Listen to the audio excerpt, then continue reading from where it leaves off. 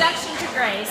But I get this. It's interesting. They, when they first came out, the, the title of my my topic was "What Grace Is Not," and then they re, rewrote it, and I thought maybe that sounds a little bit too negative. But somebody changed it. It was "Grace Misunderstood." But when I think of grace, what grace is not, I feel like I think I'm the perfect person to teach this class because I know all about what grace is not because I've done it all. My whole Christian walk has been such a struggle. And this idea of grace being freely given. And that, that is so hard for me to innately accept. In our human flesh, we want to earn something, to do something, or think we should be if we're not. And it's just, it's just so into how we're made. You know, Paul does such a great job when he talks about it being freely, and, and Mira talked about some of these things, like in Romans, you know, we are justified freely by his grace. Um, and uh, in Romans, and then in 1 Corinthians, says God has freely given us. And then even later in Ephesians, he says, to the praise of his glorious grace, which he has freely given us in the one he loves. Free of charge. It's the get out of jail free card. Yeah. It's, uh, but it goes so against ourselves. And we see it all through the scriptures. We see it. You know, when Jesus is telling us parables, so often you see that coming out. Like in Luke 15, the prodigal son, the older brother. We, I can relate to the older brother. Can anybody else relate to the older brother? you think, well, he gets rewarded for messing everything up? That just doesn't even make sense to us. You know, even when in the parable, in, in um, where is it, Matthew 20, when it talks about the parable of the vineyard, when the, man, the employer goes out very early in the morning and says, I'll hire you for the day, and here's one denarius. And then he goes out again at 9 a.m., and then noon, and then 3 p.m., and then even 5 p.m. right before the end of the day, and then pays them in reverse. Here's your one denarius. Okay, and then here's your one, and then course, the ones that work the entire, surely they're going to get more. And they get their one denarius. That, doesn't that get under your skin? I think, what in the world? But, you know, he says, Are you envious because I am so generous? Did you not agree to work for one denarius? We just don't get this part of God's heart in the flesh. But we've got to fight for this. I can totally relate to this. Um, I remember when I was single um, and had a household. As before I was um, a disciple, and uh, I it was in Washington D.C. and I thought I got this great deal. It was like 350 um, around in Northern Virginia plus utilities uh, with all these units. I thought this is a good deal, um, and uh, so I was totally fine with that. But then, then I found out the woman who was the main person on the lease, who had the master bedroom the only parking lot, wasn't paying utilities, and she wasn't paying even half of what I was paying. And then all of a sudden, my deal didn't look so good. but did I not agree? I remember mom saying to me, she's like, didn't you agree to pay that? That's her. I mean, that's a smart businesswoman. I'm like, I thought, no, that's not fair. We just we want things to be fair. But we don't, we want mercy, but we want justice for everybody else. Um, but I think there are certain symptoms that we have um, when we don't understand grace. And I can relate to all of these. Uh, turn with me to Matthew 18. Come on.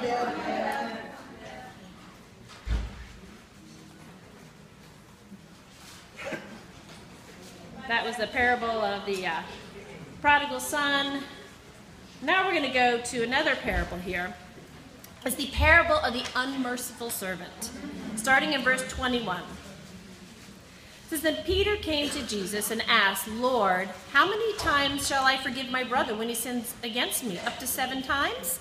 Now, seven times would have been quite generous. The rabbi of those days would, would probably say something like three. So Peter is my probably thinking like, wow, I'm being very generous here. Jesus answered, I tell you, not seven times, but 77 times. Therefore, the kingdom of heaven is like a king who wanted to settle accounts with his servants. As he began the settlement, a man who owed him 10,000 talents was brought to him. There's a little background. A talent is 75 pounds uh, of, of it's a it's like a coin, but it's not exactly a coin, but it's it's basically one talent is equal to about 20 years' wages. 20 year wages. So 10,000 uh, talents would be equivalent to about $6 billion dollars of today money. 6 billion. I think in the NIV says millions of dollars. Actually, if you do it monetarily, about 6 billion. That's a lot. Um, so this is his debt. I don't, who knows what he did to get in that kind of debt. What was brought to him, since he was not able to pay, the master ordered that he and his wife and his children and all that he had to be sold to repay the debt. Now the people of the day would understand this concept. There is, this truly happened. Indentured servants. You couldn't pay. And it's one thing, especially as the head of the family, like not only has his debt, but now it's not like there's no declaring bankruptcy. It's like you're going to be a slave. Not only you, but your wife, and the worst part, even your kids. This is intense. The servant fell on his knees before him. Be patient with me, he begged, and I will pay back everything. The servant's master took pity on him, canceled the debt, and let him go. But when that servant went out, he found one of his fellow servants who owed him a hundred denarii, a few hundred dollars. A denarii, one denarii is about one day's wage. Um, he grabbed him and began to choke him. Pay back what you owe me, he demanded. His fellow servant fell to his knees and begged him, Be patient with me, and I will pay you back. But he refused. Instead, he went off, and the man had the man thrown into prison until he could pay the debt. When the other servants saw what had happened, they were greatly distressed and went and told their master everything that had happened. Then the master called the servant in. You wicked servant, he said, I canceled all the debt of yours because you begged me to. Shouldn't you have had mercy on your fellow servant just as I had on you? In anger, his master turned him over to the jailers to be tortured until he should pay back all he owed. This is how my heavenly Father will treat each of you unless you forgive your brother from your heart. The biggest symptom, I think, of not understanding grace is that we don't give it out. We can become harsh. And, and if you look at the first, when he says, Be patient with me and I will pay it back, really? You're going to pay $6 billion. I want to know what occupation he had back then that's going to pay out 6 billion. He's either in, in some sort of delay tactic or very deceived about the debt he had. And I think when it comes to us, when we, we don't get the, the depth of our our debt. And that's why it's so important. We study the Bible to get that debt. But it doesn't, it's not just then. We have to continue to do it, to understand the debt so we can see the lavishness of God's grace. Um, you know, why do people, why do people have a hard time forgiving? Mainly because we probably don't see our debt. The other part is that we have to overcome this innate sense of fairness. Because forgiveness costs that sense of fairness. We have to actually give it up to forgive. Um, but this, it's so interesting all around the world, all cultures, there is something deep inside of us where we want to be forgiven. And then we also need to forgive others, every one of us. Now, we can end up on either side of this where we are struggling more with feeling guilty all the time um, and then the other times we're just filled with resentment and bitterness.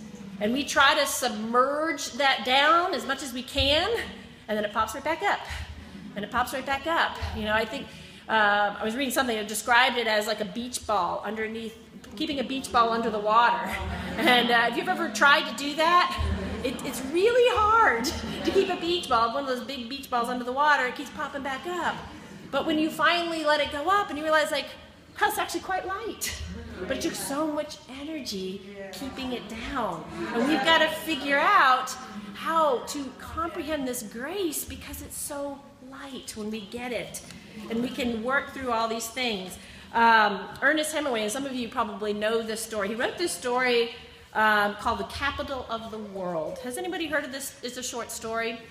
But in it, it's a father who has been, they have a restrained relationship, a strained relationship with the son, and uh, he ran away. The son is gone, just left, nowhere to be seen for years. Um, and the despairing father, uh, at one point, just really missed him, decides, I'm going to just I'm just going to take an advertisement in the local newspaper. And he's going to write something and hope that his son will read it. And he writes in the local paper, Paco, meet me at the Hotel Montana at noon on Tuesday. All is forgiven. Love, Papa. Now, Papa, this is in Madrid. The story takes place in Madrid. And Paco is a, a very common name in Spain. And when the father went to the hotel the next day, there were 800 men named Paco waiting for their forgiving fathers. You know, down deep, we just desire this deep forgiveness. Um, and, and it is that sense of like, we, we all need it. And then when we hear stories where somebody's truly forgiven something, nothing brings tears to our eyes more than when we, like, there, there was back when the, um, it was a few years ago when it was an Amish community. Uh, do you remember this? When the man went in and uh, he killed all the children and he, execution style, and um, it was just horrific. But the very first thing when the parents find out, the, the women, the mothers of the children that were murdered, they go over to the wife of the husband who did this and says, "We want you to know that we forgive him." And, uh, and, and when asked, uh, the community asked, like, how can you do that? And they said, we don't have an option according to our religion, we have to forgive. And I think, ooh, that is our religion. Um, but we do, we just, you know, I'll never forget that story. We love forgiveness. It's just so hard for sometimes to get it. But when, when we feel, you know, either side, when we're feeling like we can't forgive or uh, needing a forgiveness, we, we have a misunderstanding of grace and we've got to get deeper. Um, another another thing. This is um, this is the description of or a picture of somebody. You know this. I, when I first got married, I didn't know how unforgiving I was until I got married. And I thought, it must just be coming up right now, because I've always been very forgiving. Marriage exposes, it's a really good mirror. I just had to see, look inside, but I just wasn't very good at giving out grace. I remember people sitting down like, you don't get grace. So I went through every passage in the Bible, those 218, I went through every single solitary verse in the Old New Testament and just tried to understand grace. I read the book, J.I. Packer, Knowing God. I thought, I need to know that this is a character of God. I don't get it. It was such a struggle for me. Um, but I think when we start seeing our need more, the more we see our need, the more we desire the more we desire something when we actually get it, the more grateful we are. So it always goes back to seeing our need. It's, it's so interesting uh, when you think you've lost, I mean, even for a moment, just imagine you've lost grace. Just imagine you, you can't, grace is no longer tangible. Think how hopeless would we would be. It's, it's like that Hebrews 10, a fearful expectation of the raging fire, never to see God's face. You know, but unless we imagine what it would be like without, sometimes we don't realize how much it's worth. And and I think this is true. You know, you think of a think of a, a husband and wife. Valentine's came and went, and you know, some of the wives were confessing things like, "Well, I just kind of expected my husband to make it a little bit more special for me," or um, and they were kind of struggling, and that entitlement and all that stuff that we can get. And but imagine somebody like that. But then they're they're, they're having these little tiffs and they're stuck in this, you know, the back to back and trouble having grace and feeling like, well, he doesn't really love me, he's not taking care of me. But imagine he goes overseas now, and during that war, and you hear in the news the helicopter crashes. And when you get that news, your heart sinks. And you find out that, yes, he was on that helicopter. And there's weeping, there's anguish, there's just imagine just that you're, this is your best friend, your husband, the father of your children. I mean, the deep agony and weeping. But then imagine a couple days later, you find out it was the wrong helicopter. And he comes home. How grateful. What's the joy like? It's when you understand that you didn't have it and then you have it. It's like when you lose something and then you find it. When you find it, it's almost way more excitable than, than when you first got in the first place. if you've ever lost something and found it, you're like, oh, I'm so glad I got this back, something of value.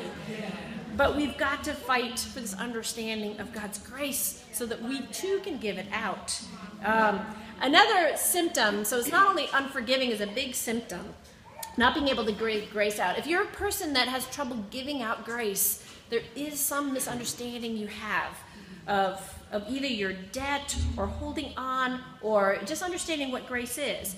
Another thing, and this is something that I've had to work through, is this another symptom is performance oriented. Now, our lives from, if you've grown up in this country, our life, everything is about performance. You get, you get grades. you know, even in, you know, recently they've tried to take some of that out, but you get grades. I think for me, I was in school for a long time between, you know, school and undergrad and grad school, all those things. So it was a lot in tests, lots of tests. You get graded on everything. And then, of course, I was in band too. Um, be, be, how you perform based gave you your seat, your awards, track had to pick a sport that's so individualistic. You know, it's not even like you have teams supposedly, but you're out there for yourself. you want to win that race. you know, um, you're happy for your team when you win, but you're you're out there for yourself. It's like the performance orientation, and um, the I, I am a, I am a sticky person. I like I like boxes and checks. This is how my life goes. This is the way I think.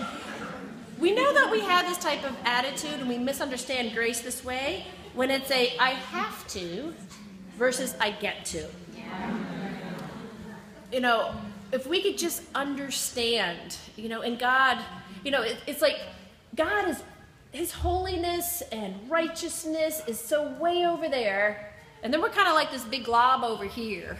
You know, there's no differentiate. We think we're better or worse than people. No, we're just this big glob over here in the flesh. And God must think it's so crazy. We start comparing ourselves and we think we're better or worse. And He must just laugh at that. The standard is God. And if we could just understand in Isaiah 64 6, it says, All of us become like the one who is unclean, and all our righteous are like filthy rags. We all shrivel up like a leaf, and like a wind, and like our wind, our sins sweep us away. Like even our righteous acts. Um, you know, when I think about something that seems so ridiculous that God must laugh, because I do this. We all, I'm sure a lot of us at some point, we like, I just gotta either earn my salvation or pay it back. You know, that there's something that we have inside of us. And, and even to give us a perspective, I think about the Grand Canyon. It's 18 miles wide. And I think trying to either earn or repay grace would be like jumping across the Grand Canyon completely impossible. I think about, you know, Mike Powell broke the world uh, long jump record in Tokyo. It was in 1991, and the one, the record before that was uh, 23 years before. Now, Mike Powell was able to jump. Um, he was able to jump 29 feet and four and a half inches. 23 years before that, Ralph Dawson jumped 29 feet two and a quarter inches. Okay, 18 miles is 95,000 miles. Can you imagine if I thought, I'm going to practice every day for the rest of my life to see one day I'm going to jump across that Grand Canyon? That's how ridiculous it is when we're trying to earn or repay grace. Now, I know we don't have those actual thoughts in our head, but when we get performance oriented, that's how ridiculous it is. And I'm totally like that. But then you look at the scriptures. You know, God doesn't need us to do anything, He wants our hearts. He wants a broken and a contrite heart who says, Help, I can't do this without you. Think about it. Think about the thief on the cross. What did he do? He said, Remember me. Jesus, remember me when you come into your kingdom. Help. What about the beggar Lazarus? In Luke 16, what did he do? We got to understand this. We got to get this. It's not what we do. God wants our hearts. Um, and, uh, you know, in, in Psalm 51, I love David's psalm, you know, when he, and it's such a great example of the kind of heart. Um, when he says um, in, in Psalm 51, I'm just going to read a couple verses. 15 and 17 it says, Open my lips, Lord, and my mouth will declare your praise. You do not delight in sacrifice, or I would bring it. You do not take pleasure in burnt offerings. My sacrifice, O God, is a broken spirit, a broken and contrite heart. You, God, will not despise. And that psalm was what he wrote, according to the scriptures, right after he committed adultery and then second degree murder with Uriah, her husband. But he got the heart of God. And he was able to get broken about what he had done. But then he was faithful that God could heal him and put him back together as he went on. And, and go back and read that psalm. That's the heart. In Acts 13, it says that David had a heart that took after God's own heart. And I thought, wow. And then you look at some of the things he did, but no, what is that heart? That faithful, humble heart. You know, we can't earn God's favor any more than we can jump across the Grand Canyon. Why? Because you already have God's favor. You don't have to earn God's favor. He, he, you have it, it's just to accept it with that broken and contrite heart. Now, another, another symptom, which is kind of related to the performance oriented, uh, we talked about um, a symptom is, is being harsh and unforgiving, just like that first servant in Matthew 18. He says, I'll pay it all back, and then he goes off and he's harsh. Um, and then we talked about performance oriented, but another thing is being guilt motivated. Now, I don't know why, but I think women, we tend to struggle with this a bit more, and I do know some brothers that struggle with this as well, but we can be really bad at this. I know this is something uh, that I've really had to work through, and I've had some women in my life, like Terry Fontenot, that really helped me with this concept. You know, we are commanded um, to be compelled by love, to love one another. The reason why we interact with God, interact with people, is because we love, not because we feel guilty. In Revelations 12 9 through 10, we read about how Satan is the great accuser. It says, He's the accuser of our brothers and sisters who accuses them before God day and night, and he has been hurled down to the earth. When, I, when my motivation is out of guilt, then I'm not following Jesus in that moment. I'm following Satan. And when that that light bulb went off my head through discipling and great friendships, and when I realized it, and it was just sitting down at a conversation, I thought I was going to get help in my schedule. Um, and uh, I thought, tell me how to figure out, because I'm feeling a little bit overwhelmed trying to do the ministry, work as a physician, and raise these four kids and keep the house up. And I was, I was struggling. I thought, I'm overwhelmed.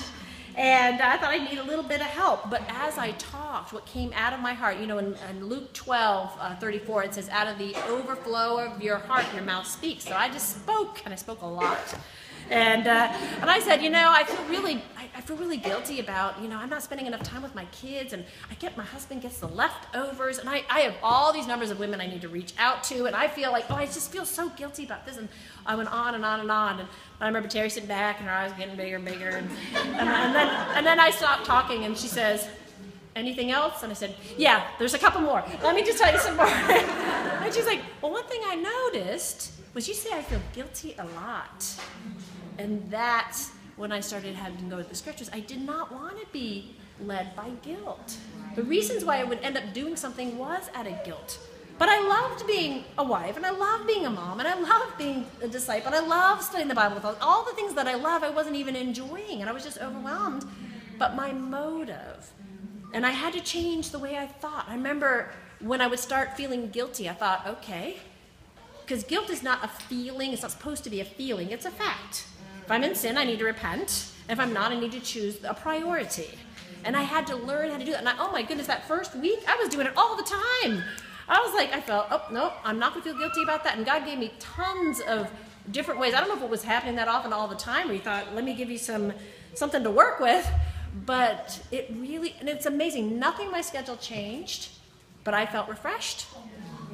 And I realized when we're motivated by guilt, it's exhausting because and it doesn't last long because then you um, because you get fulfilled because guilt is really when you're motivated by big guilt, it's more about self because you don't like that feeling, so you do it. But then there's something else right there to make you feel guilty again because it's never ending and, and and it's exhausting.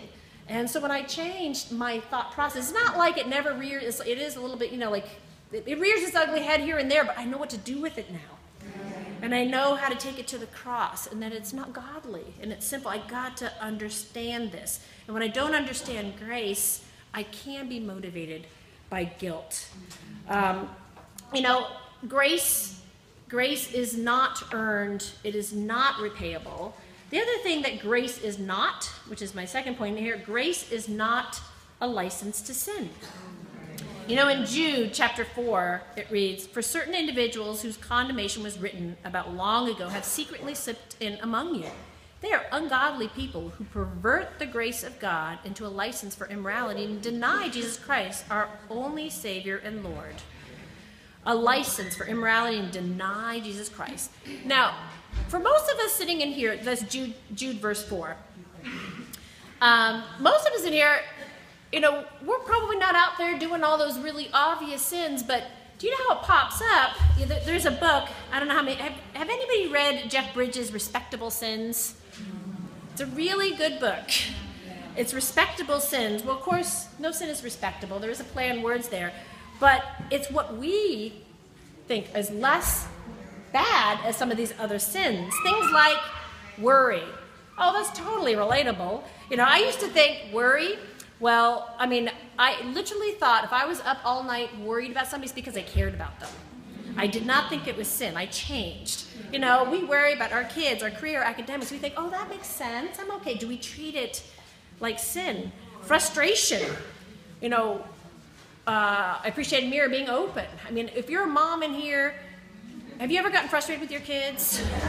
Okay. Right. Now, think about why do we show our frustration more easily with our kids? Why? Because we can. That's a scary thing. Because we can. Would we show our frustration the same way if our boss was in the room? I remember one time I had just gotten off the, the phone with one, one of my bosses in the medical field, and um, I hung up. Maybe I redialed. But I was correcting my son, and I wasn't screaming. I wasn't doing it. I mean, I never would have even thought there was anything wrong with it at all, but I was correcting him. And then I looked down at my phone, and I saw, um, I saw Dr. Lowry's name there, and I heard a hello, hello, hello, and I looked at it, and I panicked, and I thought, hung up. and my kids looked at me like, did you just hang up on Dr. Lowry? I think, yes, I did. And I was like, why did I do that? I did that because I realized that I would never have talked like that in front of him. And I never would have known it was bad. We've got to, like, these respectable sins. Um, you know, grace is not a license to sin. Our pride, you know, we, we, we confess it like, well, I was, I was really being insecure. I want to be open. But pride, that evilness, you know, it almost can sound a bit humble. It's false humility. Or in arrogance, we think, well, I'm just self confident. You know, ingratitude or unthankfulness, self, lack of self control, impatience, irritability, angry, judgment. I don't know uh, if any of you remember when Debbie Norman, she was here a few years working with the young marrieds, and she's from Canada, and she said something that stuck with me. And she said that um, sin is always understandable. Like, we can understand each other's sin completely because we're all sinners.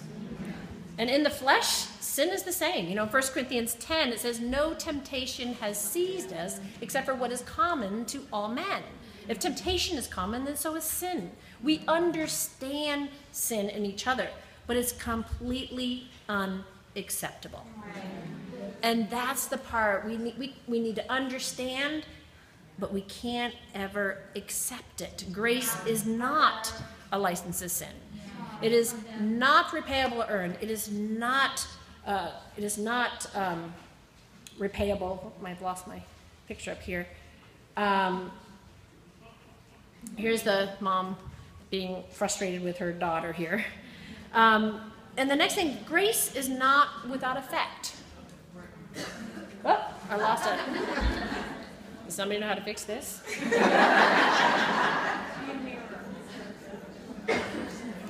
Any technical pros here? anyway. Double, double click on your, um, double click. double click Siri. Here you go. I'm going to keep talking. Um, but grace is without effect. We all know that passage. Uh, we've probably heard about that passage in 1 Corinthians 15 when Paul says, But the grace of God, I am what I am, and his grace to me was not without effect. No, I worked harder than all of them, yet not I, but the grace of God that was in me. And that's kind of similar to the way I was feeling when I was being motivated by guilt. It was overwhelming. I was tired. It was so refreshing. I thought I had a new life. And all I did was change my perspective in something in my heart. I repented. But grace, when we get grace, it energizes us. Um, we get restored. You know, if we feel burdened and weary, some of that is life, and, and it's not just un- misunderstanding grace, but it could be. Um, and in Isaiah 40, I love this passage when it says, uh, Isaiah 40, verse 28 to 31, it reads, Do you not know, have you not heard, the Lord is the everlasting God, the creator of the ends of the earth. He will not grow tired or weary, and his understanding no one can fathom. He gives strength to the weary and increases the power of the weak. Even youths grow tired and weary, and young men stumble and fall. But those who hope in the Lord will renew their strength. They will soar on wings like eagles. They will run and not grow weary. They will walk and not be faint. I love that's one of my very favorite passages because I know we get weary. But God's grace strengthens us. Doesn't even talk about it talks about grace is not just forgiveness of sins. It's it's his kindness and his love, his favor. It is huge. Um, and, and we've got to get this. We got to understand this. These are the symptoms. You know, grace teaches us to say no to sin. You know, it has that effect. It, it, it, it, it, um, it works hard for us, it strengthens us, and it teaches us to say no. And that's Titus 2, verse 11 through 14 reads, For the grace of God has appeared that offers salvation to all people. It teaches us to say no to ungodliness and worldly passions and to live self right, upright, and godly lives in this present age while we wait for the blessed hope. The appearing of the glory of our great God and Savior, Jesus Christ, who gave himself for us to redeem us from all wickedness and to be purify for himself a people that are his very own, eager to do what is good. You know, when we're stuck trying to change something, um, a lot of times when we're in that cycle, you know, Colossians 2 is kind of the reverse. It talks about how just saying, stop it, don't do this, you know, in a legalistic way, that has no power to change anything. But God's grace, that's where the power is. And it's our understanding of God's grace that gives us the power, the strength to actually change. But we get it backwards. Um, and lastly, not only is grace not a license to sin, grace is not without effect, grace is not cheap. Grace is not cheap. It, it came at a huge price. Uh, theologian Dietrich Bonhoeffer, um, he was a, uh, he was a um, German theologian, and he wrote an incredible book. Um, it's a pretty thick book, though. It, it's called The Cost of Discipleship. And he himself lived through tons of persecution um, in, in, an amazing way. But he got this idea, and, he, and he, he coined this term of costly grace versus cheap grace. You know, in our culture today, you know, you'll see it where people feel like, I've been forgiven, but that doesn't, so I'm forgiven, so I don't have to. Like Mira was talking about the two extremes. But that is a lot of our culture, and we can do this. It's not just our culture out there, it can be a culture in here too uh, even with some of these, quote, respectable sins. Um, but, you know, it's not just this divine get out of free. I remember when I was in college, before I even understood what discipleship was. I remember hearing my sweet mates talk about it, and they were partying, they were being immoral, they were doing this and, and sharing their faith, and I remember them saying that, and I thought, uh, but I was doing some of the same things, but just not as publicly. So I thought I was better. But I remember hearing that and thinking there's something not right about this. But what she said was true. We are forgiven. So we, we can be grace, but it didn't feel right. Um, you know, grace in our as as Christianity became more popularized and secularized, you know, became grace became common property. And the gospel was cheapened. Obedience to the living Christ was gradually lost. And we see that in our culture. Listen to this. This is a quote from Bonhoeffer's book. He says, Cheap grace is the preaching of forgiveness without requiring repentance, baptism without church discipline, communion without confession. Cheap grace is grace without discipleship, grace without the cross, grace without Jesus Christ. And later he writes, Cheap grace is grace without discipleship, grace without the cross, grace without Jesus Christ living and incarnate. You know, so we think that we can enjoy all these aspects of grace, but not not follow Jesus. But that goes against everything. You know, it's like when I, you know, the Grand Canyon, you know, that, that 18 miles, like, okay, we can be on the back of the eagle and we can fly across that 18 miles. It's the only way it's going to happen. Because without our own, it's impossible. But the cost is you got to leave the, that edge. You got to get on the eagle's back, and you can't go back to that edge. It's gone. There's a cost. It does cost something. You know, Luke 14, we read about that, counting the cost. Luke 25 to 33, a lot of us know that passage by heart.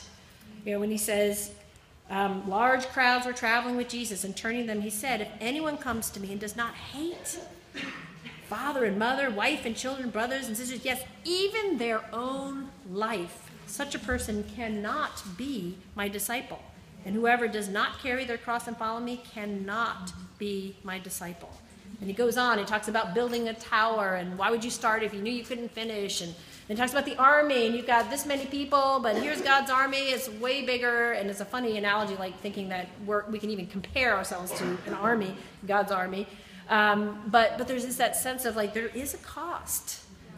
But the cost is okay, there's a cost by not accepting too. Yeah. Um, but there is a cost. It's not cheap grace. It, you know, in First Peter, um, chapter 1, verse 8, it reads, um, It wasn't with perishable things like gold or silver that you were redeemed from that empty way of life handed to you from your ancestor but with the precious blood of Christ, a lamb without blemish or defect. This grace costs. It's not free. Sin is never, ever free. And grace, but you know what? When we appreciate, when we understand how precious grace is, it means so much more. It's not just seeing the amount of debt we have, which is huge, and not one person in this room understands how big our own debt is. If we saw all our sin at one point, we'd just fall over and we wouldn't be able to breathe. but God shows us a little bit over time and lets us get married. You see a little bit more quicker, and then, then you have kids and you see more. And, um, and sometimes it's your roommates, sometimes it could be high school even. And, and dealing with peer pressure. It doesn't but we can see our need through different things. Um, but, but it's also understanding how precious the need um, but it's like that woman who comes back when she lost it and then comes back and she's overjoyed because she didn't really understand what she had until she thought she didn't have it. Um, there's a story um, about a woman who's trying to sell um, an antique table. And she had a price tag on it, like $200, which pretty hefty price. And someone comes in and starts to bargain. And, um, and she, she's, she's trying to explain why it's $200 and she starts explaining the, the, the, antique she's like well it's actually was in, in, this this time frame and if you look at the carvings under here and this is this is where it stood and, and then the refinishing and she started talking about it and talking about it and she talked about it. She started thinking you know what? $200 that's just it's just not the right price. I, I really can't let this go. It's got to be at least $600 and the guy's like what are you talking about? You said you can't do that. And he's like i'm really sorry. I changed my mind this is, this is worth so much more. And the guy's like, but I want this table. It's going to be $600. And uh, then, he, then he buys it because he really wants it. But when he takes that table home, how do you think he's going to treat it? When something is worth more, you value it and you treat it. You want to protect it. This is how grace works. This is how grace has effect. When we value it, we see how valuable it is. Where your treasure is, there your heart will be. And if we can see the huge value of grace, then it will have all these things. Um, and I want to end in 1 Peter. Turn with me. 1 Peter chapter 1.